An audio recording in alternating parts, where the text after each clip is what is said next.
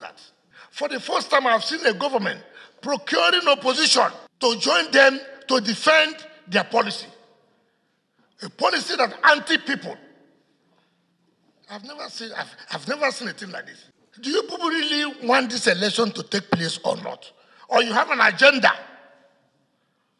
to truncate this election? I don't know. Look at what is happening in Oyo today.